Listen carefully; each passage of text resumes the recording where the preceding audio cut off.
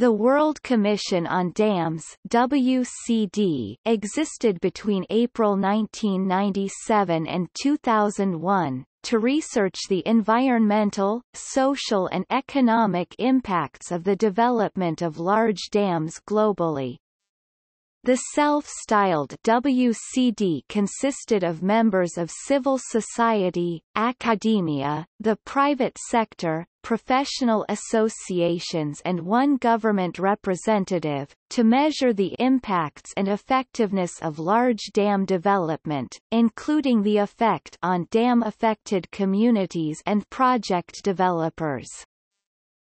The ultimate outcome of the WCD was to issue a final report which was launched under the patronage of Nelson Mandela in November 2000.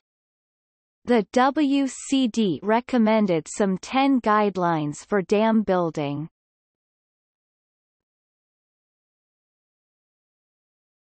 Topic. External links Dams and Development, A New Framework for Decision-Making, Final Report, November 2000 World Commission on Dams at UNEP World Commission on Dams